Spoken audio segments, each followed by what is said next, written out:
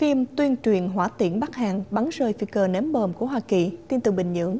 Một đoạn phim hoạt họa trên trang mạng bán chính thức Yuri Mizukiri cho thấy là hỏa tưởng của Bắc Hàn bắn hạ một phi cơ ném bom có khả năng mang vũ khí nguyên tử của Hoa Kỳ.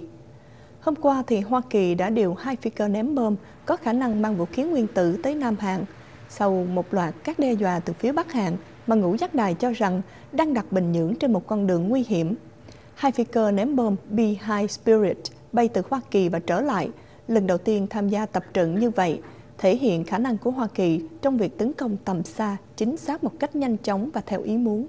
Vào đầu tuần này, thì Hoa Kỳ cũng đã cho phi cơ ném bom B-52 bay trên bầu trời của Nam Hàn. Phụ đề trong đoạn phim này cũng miêu tả hậu quả mà Nam Hàn phải hứng chịu nếu Bắc Hàn bắn hỏa tiễn vào phi cơ ném bom. Gần đây thì trang mạng này cũng đã đăng tải một đoạn phim hoạt họa cho thấy là tòa nhà Quốc hội Hoa Kỳ bị đốt cháy.